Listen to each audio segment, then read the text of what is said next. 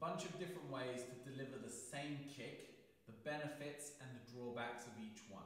Okay, so I like to think of every way that you can deliver a kick has certain benefits, but at the same time it's going to have certain drawbacks. And it's all about weighing up your options and trying to figure out which one you're going to throw to get what you want out of hitting the target. So what we'll take as an example for today is a roundhouse kick, hitting with the top part of the foot coming around the side of the target. So lead leg roundhouse kick, what we're looking for here is absolutely no telegraphing. Telegraphing means when you show them what you're going to do before you do it. So whether that be with moving the back foot or your guard changing or some movement in your body other than what's necessary to deliver the kick. So lead leg roundhouse kick at the minute just on the spot, straight up, boom to the target and down.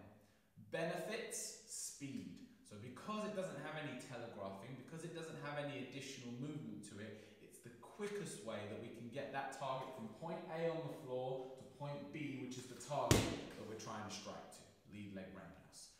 Drawbacks, it's going to lack in power in comparison to other ways of throwing.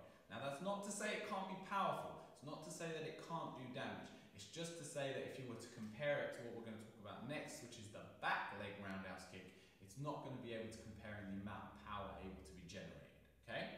Back leg roundhouse kick. Now this one has kind of part A, part B.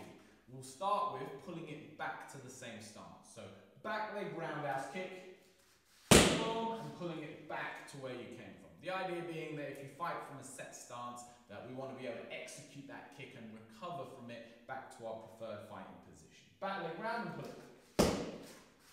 Okay? Now also we can land that kick in front. So if you're able to fight off of both stances, and if you practice and train off of fighting with both stances, this kick can be used to change the distance on someone. So if she pulls it back as she has, you can see our distance between each other hasn't changed. However, if she lands it as the front leg, she's now dramatically closed the distance between her and opponent. So she's got someone that's retreating back a lot every time she kicks. This is a great way of getting a bit closer so that she can then follow up land hands or whatever it might be.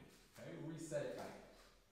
Benefits, power, and like we just spoke about, the ability to manipulate the distance between you, okay? Drawback is going to be that it's got a telegraph, it's got a tell. So there's more distance between that foot and that foot to a target. So it's got further to travel, which means I've got longer to react and respond to it, which means that there's more opportunity to be countered, okay? So when you look at those two kicks, they're kind of partnered with each other. Lead leg roundhouse kick is quick, but not as powerful. Back leg roundhouse kick, more powerful, but we're going to sacrifice some of that speed in order to generate that power. But we also get the added benefit of being able to manipulate the distance. Okay? Two other ways of delivery. One step roundhouse kick. One step is where we bring up the back foot to where the front foot position is and then lift the front foot up to execute the kick. Watch that one again. Stepping up with the back foot kicking with the front foot. Okay? Now again, we've got the benefit of being able to manipulate distance because when she finishes that kick, she can land here or she can do what's called the pull back, which is where we throw that one step movement, but we one step back out of it to return to our original position. So she one steps up, she one steps back to recover the distance that she made. Okay, so again, benefit, we can manipulate distance. Another benefit now is we get some of that power of what that back leg roundhouse kick was without sacrificing as much speed. So because we've got that one step movement, we can use that momentum to generate a bit more force with that kick as if we went, uh, as comparison to doing it on the spot. Okay? Again, drawback is that there is a tell. Okay, that back foot stepping, once people get savvy to it, that becomes a real tell and also a bit of a dangerous one because if she gets to the part where she stepped with that foot and then I execute on her, whether it be with hands or whatever, she's in a very compromised position in terms of her footing, balance, posture, etc. Okay? Juxtaposed to that is the sliding roundhouse. Sliding roundhouse kick, we're now trying to lift the chamber up as a priority and then travel forward and deliver the kick. Okay? Now, in a more advanced version of this kick, you will be lifting the leg as you travel. So all in one movement, as you lift the leg, you travel the distance to hit. Okay? This defeats a lot of the drawbacks of the previous kick. We still get to manipulate distance, we still get to attack going forward, but now we don't have the tell at least in front of the kick. What I mean by that, and maybe a side kick is a better demo for this. If she throws a side kick with a one-step movement, I can step in and over that kick as she does it, especially if I can read that one step. So the second I start seeing that step, I can move in and attack, I can shut her down, okay? Juxtapose that to the sliding side kick where the chamber takes priority.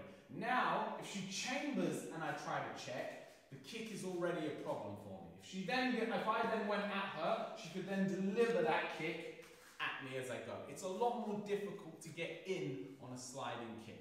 And we get some of the speed back that we lost from that one-step movement.